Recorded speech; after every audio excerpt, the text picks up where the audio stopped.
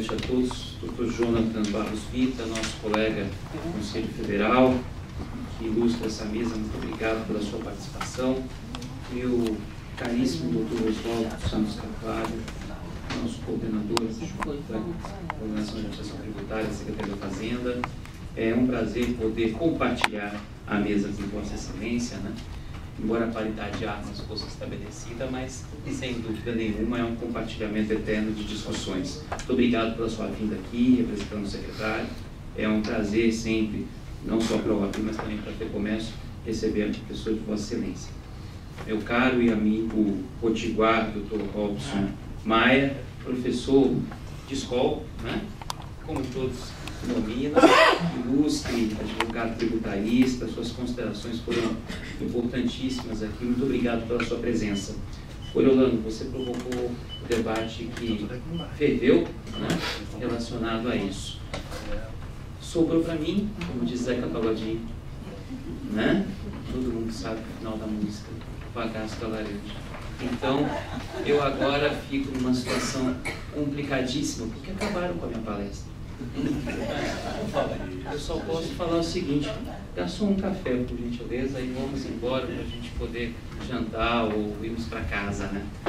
É, ainda bem que enquanto eu fiz a cronologia fora do, do Congresso e coloquei aqui uma linha de titulação, eu já pensei nisso que se cada presidente mesa fosse falar cada currículo de todo mundo, nós estaríamos saindo daqui só sábado de manhã.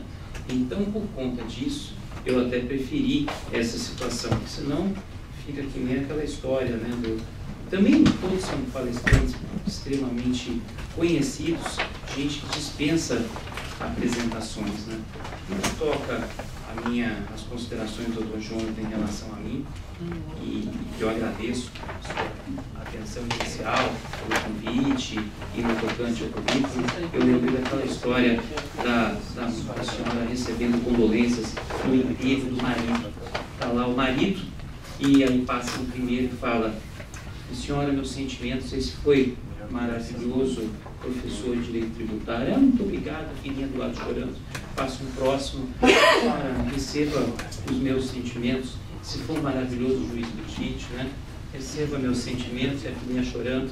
Passo o terceiro. Esse foi maravilhoso, maravilhoso advogado tributarista, minha senhora. Olha, meus cumprimentos, meus sentimentos, né? E a filhinha chorando. Daqui a pouco chegou o último e olhou. Minha senhora, meus parabéns. Você foi um maravilhoso exemplar, pai de família. Vira ela para a filha. Minha filha, vamos embora. Mas por que, mamãe? Porque eu tenho certeza absoluta que esse não é seu pai. Muito obrigado pelas suas considerações, né? Que cabem a mim aqui relacionadas a isso guerra fiscal. Eu preparei uma palestra bonita, mas eu vou passar muita coisa. O doutor Zé Paulo falou bastante coisa. Eu tenho um entendimento um pouquinho diferente. Não é uma visão contribuinte, não vamos falar disso, né? É, nós estamos realmente numa crise de sistema, numa crise institucional relacionada a essas circunstâncias. Mas eu tenho um entendimento, eu sou lá do pequeno Espírito Santo, não de Cachoeiro, como meu companheiro Roberto Carlos, eu sou de Vitória mesmo, sou da ilha, daí porque sou capixaba, né? como os manezinhos lá, né, minha amiga Marta. Então, quem nasce no território é Espírito Santense, quem nasce na ilha é capixaba. Hoje em dia, os espíritos santenses que querem se valorar acabam dizendo que são capixabas. A mesma coisa com o carioca que nasce fora da delimitação do Rio, que é fluminense de nascença, mas diz que é carioca por amor. Né? Carioca é aquele da gema, nascido lá pertinho de Ipanema, do lado do Leblon, ali, bem no meio do Rio de Janeiro. Então, dentro dessa consideração, onde fica o Espírito Santo, doutor Oswaldo, com isso? E o fundar, que gera o benefício para o Estado, e o desenvolvimento regional que o Prodesp em Santa Catarina, e todo o desenvolvimento que o Porto de Swap fez hoje relacionados ao Prodesp do Estado de Pernambuco, e as formas, todos os empregos diretos e indiretos que são gerados pelos atrativos de empresas que vão para os estados por conta da fuga de quê? Exação tributária exagerada e, ao mesmo tempo, possibilidade de mais renda, sem manter a guerra fiscal tem um lado bom também. Parece que se diz, é ela o patinho feio da história. Tudo bem, é dentro de quê? Dentro do envolvimento que os estados tratam pela omissão legislativa que existe hoje. Mas em relação ao contribuinte, em relação aos empregos diretos e indiretos, em relação aos descontos tributários que superam o custo da logística, em relação ao custo de instalação de projetos, que é muito mais barato do que no estado de São Paulo, isso tem valor. E não foi falado. Então temos que levar em consideração essas circunstâncias. Claro que temos. A difusão do comércio local. Estamos aqui na Casa do Comércio. A difusão de todos os empregos diretos e indiretos, das vantagens econômicas que se formam, das negociações, das transações. Ora, há que se valorar também que a guerra fiscal, muito mais do que uma questão jurídica, é um problema econômico. Um problema econômico consequente de uma omissão legislativa dos estados, eles próprios que deram causa a isso. Ou seja, se nós formos olhar com olhos um pouco mais político-econômicos, e eu achei perfeita a interlocução do professor Robson Maia, mas colocando uma pitada mais social na questão, o desenvolvimento regional é hoje um grande propósito que acaba caindo na ideia de que da concessão de incentivos tributários em outras regiões do país para que nós possamos ter um Brasil crescente. São Paulo é a locomotiva desse país, sem dúvida. Mas os vagões também devem ser preenchidos com carga. E devem caminhar em conjunto com essa locomotiva. Então, no momento em que estados de outras partes da federação buscam a concessão de determinados benefícios tributários, não estão simplesmente querendo gerar uma situação que acaba desejando o mal para outro ente da federação ou desejando uma burla na arrecadação. Muito pelo contrário. Isso é mecanismo de sobrevivência. Se o Pundap fecha, o Espírito Santo quebra. Quebra. Desde 1970 nós temos isso lá. São 40 anos de legislação. Por quê? Porque o Espírito Santo conseguiu se sobrepor a essas situações. Combatendo da forma como pode, mas tentando captar, obviamente, recursos para o desenvolvimento do Estado. E é um Estado que cresceu, como Santa Catarina cresceu, como Pernambuco cresceu, como o Distrito Federal, que tem uma série hoje de investimentos a respeito disso, como Goiás, como Mato Grosso do Sul, eu perguntar quais são as características do, do, do, Mato Grosso do Sul, as mesmas do antigo sul do Mato Grosso. Ou seja, para quem entende geografia, dentro dessas considerações, a área é a mesma. A Suframa, Manaus e tal, é a mesma coisa. O desenvolvimento que isso trouxe para o norte, há que se avaliar isso. Então eu ponho essa consideração, é, se vocês me permitem, simplesmente num, num olhar social, um olhar comercial, um olhar econômico. Eu acho que só dizer que os estados são culpados e, e, e, o contribuinte onde fica nisso? Quem está pagando esta conta somos nós. Conta que não é nossa, é dos estados. E é esta grande questão que há que se refletir. No momento em que nós temos uma ideia de que e aí eu não vou entrar em peculiaridade, são várias discussões jurídicas, né? Há uma duvidosa, um duvidoso questionamento acerca da constitucionalidade da Lei 2475. Todos falam, foi recepcionado. Sim, tudo bem, foi recepcionado, mas há discussões. O professor Paulo de Barros Carvalho dedica um texto interessantíssimo num comentário que ele faz, que está no site do escritório, Roque, a respeito dessas questões, dizendo que o legislador à época, o legislador à época de 75, quando fez a previsão, fez a previsão, a Constituição fazia a previsão simplesmente das isenções do ICM. Elas seriam concedidas ou revogadas por convênio. Aí veio o legislador, acompanhe comigo, de 75, extrapolando os limites constitucionais, e coloca lá a redução da base de devolução total parcial, direta ou indireta, concessão de créditos presumidos, quaisquer outros incentivos ou favores fiscais e financeiros, ou seja, tudo. Um balaio gigante. Parece coração de mãe isso aqui. Coube tudo. Então vejam vocês que há uma discussão muito grande sobre isso.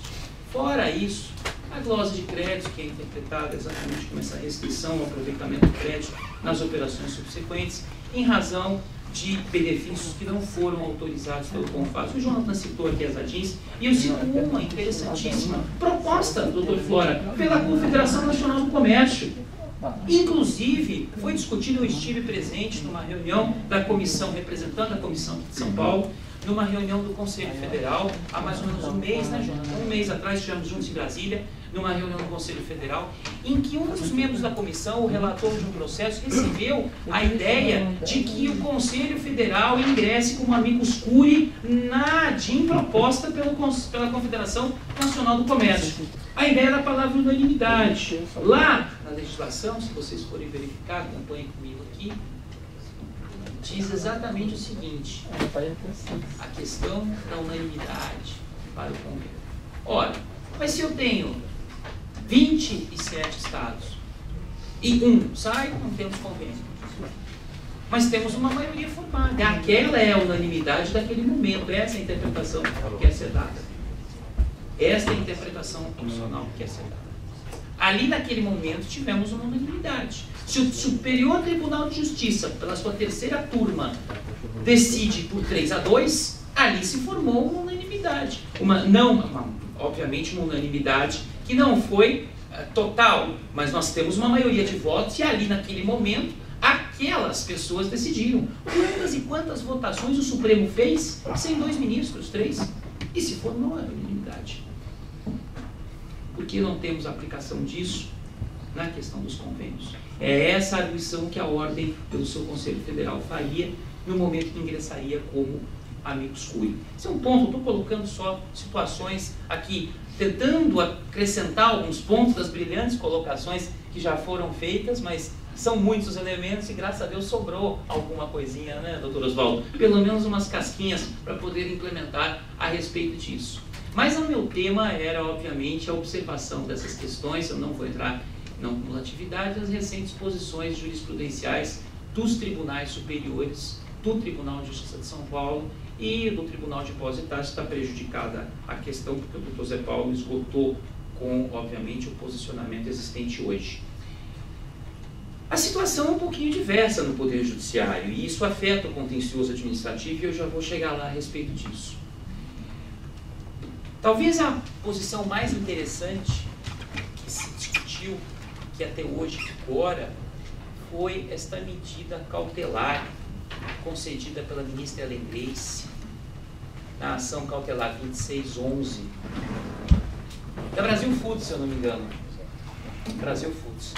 Em que Sua Excelência, à época, ministra então do Supremo Tribunal Federal, hoje aposentada, concedeu um efeito suspensivo, um recurso extraordinário, que questionava exatamente a validade constitucional do acórdão do Tribunal de Minas Gerais, que teria mantido uma decisão de primeira instância nos questionamentos da validade ou da não validade da glosa de créditos.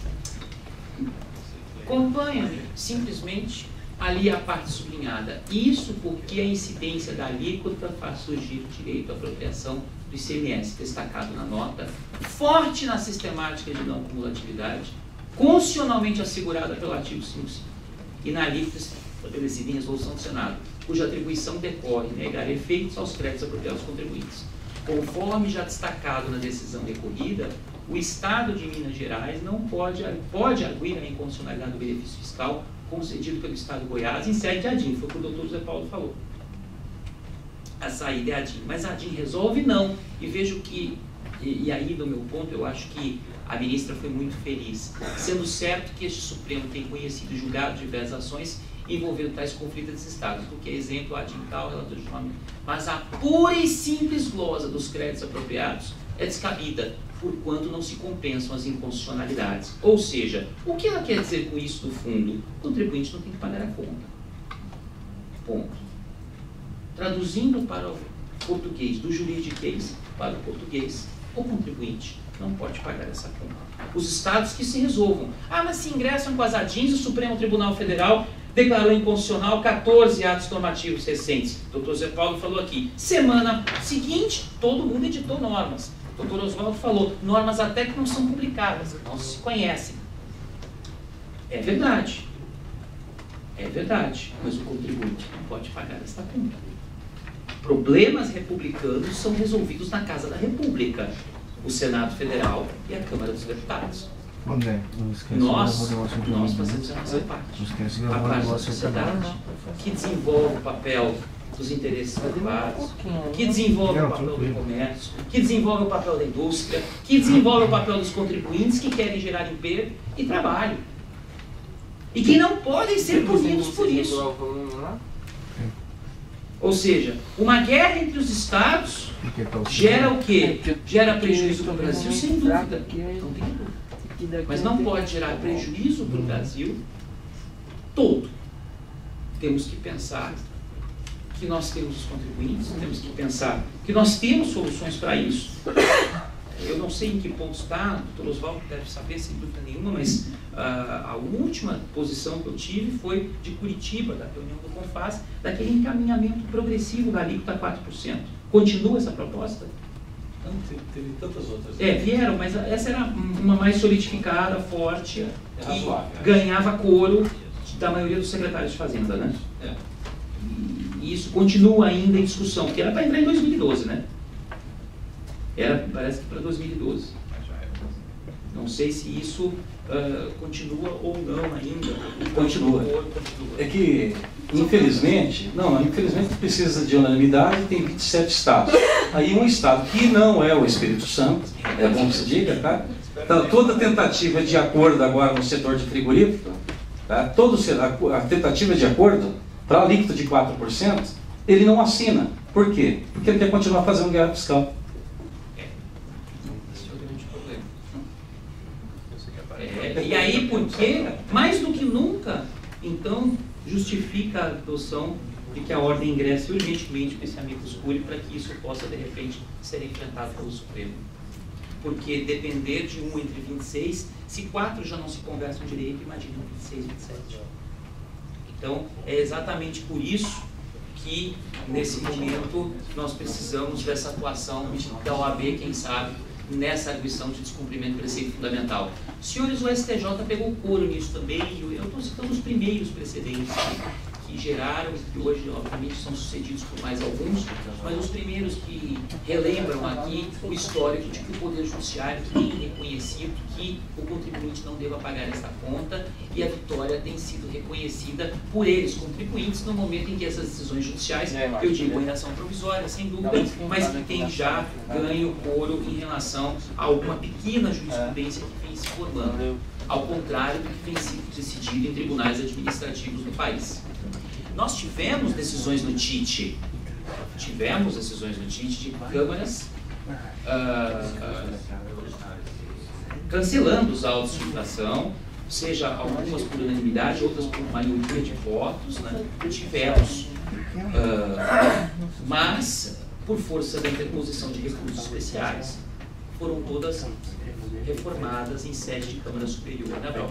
Então, acho que hoje não permanece mais nenhuma, talvez, né, em relação a isso. Salvo aquelas em que o recurso da Fazenda não foi conhecido por falta de provas, né? Ou por falta por tentativa de reexame da matéria fática probatória, ou que ensejou algumas coisas por ausência de paradigma. Muito bem. Então, o STJ, neste recurso 1258 do Mato Grosso, o ministro relator foi o ministro Benedito Gonçalves, também primou coro, dizendo assim constatado que o benefício concedido pelo Estado de origem não altera o cálculo do imposto devido, mas apenas resulta em recolhimento a menor em face da concessão de crédito presumido, deve ser descontado o percentual de 12% de CMS de São tributária devido ao Estado destinatário. Pensar diferente, vejam só isso. Pensar diferente, no caso, no caso concreto, na possibilidade do Estado destino em prejuízo ao contribuinte a apropriação da totalidade do incentivo concedido pelo Estado, tornando sem efeito situação essa que conspira a via fiscal dos entes federados, que só pode ser regulada por lei de caráter nacional. Ou seja, enquanto não vier a lei, o Poder Judiciário está respondendo. É ruim? É um ativismo? É. O Robson tem toda a razão.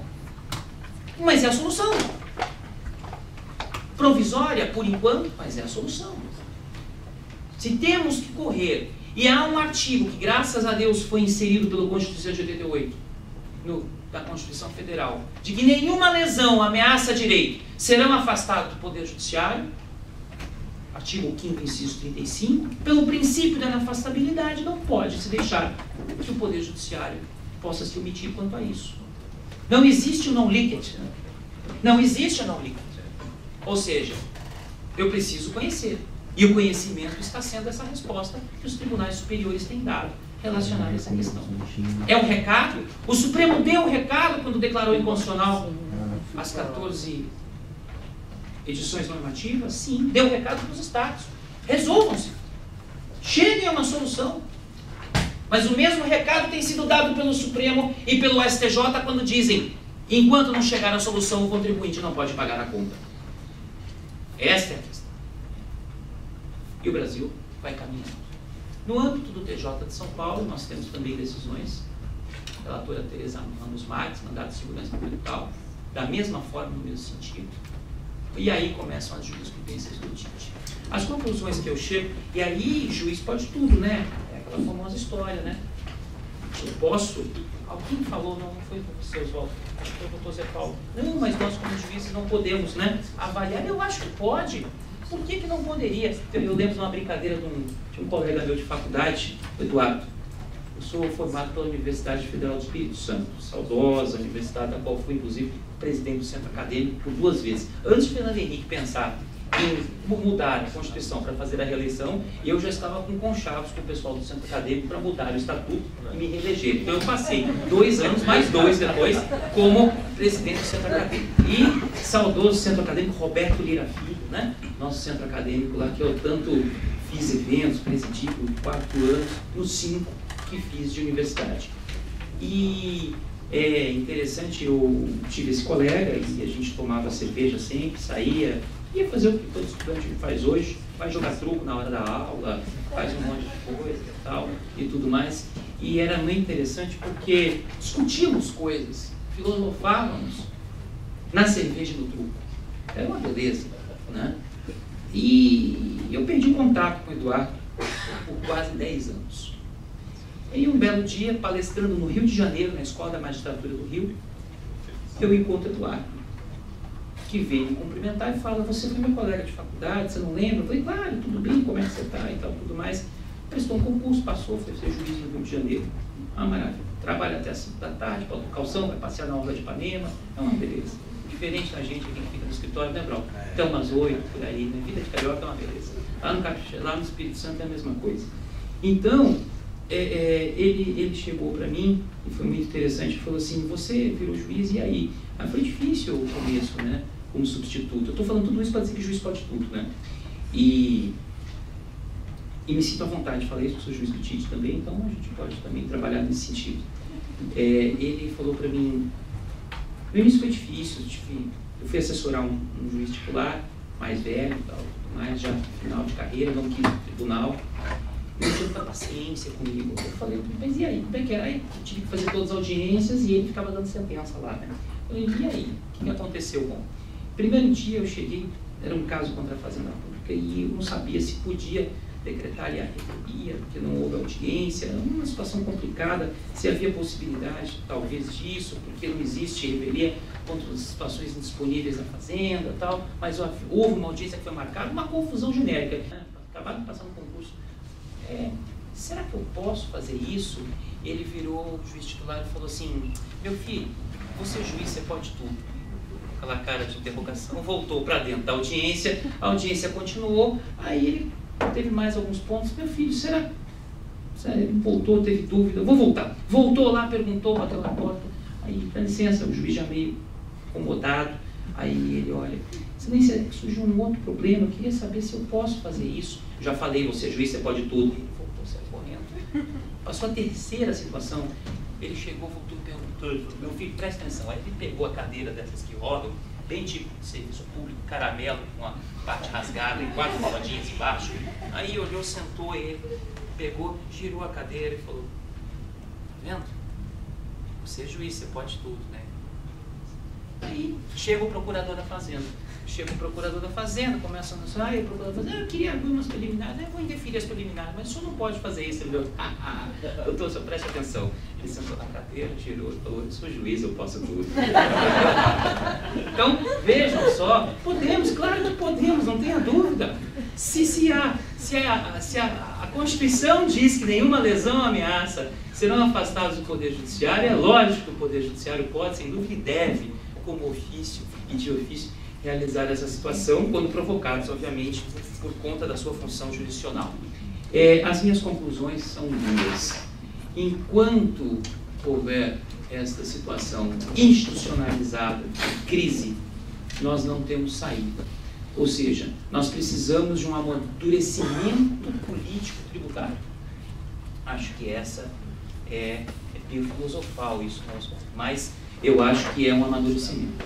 Não há um amadurecimento ainda. Esses debates são muito bem-vindos para isso. Eu achei essa mesa excelente. Vejam, nós estamos já quase às 7 horas da noite, são 6h20 e nós estamos com o auditório semi-lotado. Eu parabenizo os senhores pelo, pelo tempo, pela paciência com que me ouviram sobre isso. Mas, enquanto o CONFAS não se sentar, essa questão da unanimidade não terminar, e nós não tivemos uma solução a respeito de uma progressividade, nesse, nesse sentido que foi decidido em Curitiba, de que todos os estados concordem com uma determinada alíquota que seja razoável e proporcional, dois conceitos difíceis e abertos, mas muito bons para serem aplicados quando se tem problema. Até um determinado fim, nós não teremos segurança jurídica nesse país. Nenhuma. Tanto para a Fazenda quanto para os contribuintes. O doutor Zé Paulo foi muito claro aqui. Posso cobrar de volta? Como fica o imposto que foi? Como fica essa situação? Então, da mesma forma, o contribuinte fala, por que estou sendo exigido por algo que não fiz? Olha qual é o problema de eu pegar o meu carro aqui, ir lá para Nossa Senhora do Desterro, né? aqui da Florianópolis, chegar lá e firmar um termo de acordo. Um ato jurídico perfeito. Eu defendo isso no meu artigo que escrevi nesse livro que está sendo lançado pela editora Noeses. Ato jurídico perfeito. Agentes capazes, objeto lícito, alguém diria, forma prescrita não defesa em lei. Lei que até então não foi questionada, ou se foi questionada, se não existe declarada inconstitucional, sem dúvida. Mas e o que ficou para trás? Qual é a segurança jurídica disso? Se a lei não pode prejudicar o ato jurídico perfeito, a coisa julgada, o direito adquirido, então nós estamos também pensando numa cobrança que seria inconstitucional. É inconstitucional a situação da exigência, mas também a cobrança o seria pelo fato de que eu teria uma situação anterior vinculada a um ato jurídico perfeito. Que naquele momento em que foi firmado entre as partes era válido. Foi considerado válido. E gerou efeitos jurídicos no mundo jurídico. Então, é, a concorrência dos Estados não pode eliminar essa cooperação que os Estados têm que ter é, dentro de uma autonomia que não é uma autonomia, né, nós sabemos, é, dentro hoje da nossa jurisdição. É, eu só sei o seguinte: o contribuinte não pode pagar essa conta. Os estados têm que se resolver. E as coisas se resolvem através de política. E é que se faz muito bem nesse país, né? Diga-se de passagem. Parece que não, mas se faz política muito bem no Brasil. Então, os políticos que resolvam. A formatação legislativa de como isso vai ser efetivado. Assim como o doutor Coriolano, que adora o Twitter, né, eu também participo da rede social, gosto muito de twittar especificamente. E nós montamos um grupo de contencioso administrativo tributário na rede para saber, coordenada pelo professor Tasso Lacerda Gama. Nós temos um e-mail da comissão, notem aí, contencioso administrativo tributário, arroba. A comissão está à disposição de todos e eu agradeço muito, muito a participação de vocês, a paciência, porque aturaram aqui as nossas intervenções, as nossas colocações, porque é um tema difícil, é um tema polêmico e ao mesmo tempo desgastante. Tudo vale a pena quando a alma é pequena, né? Segundo Fernando Pessoa. Então vamos em frente, porque nossa alma é grande. Muito obrigado, uma boa noite a todos.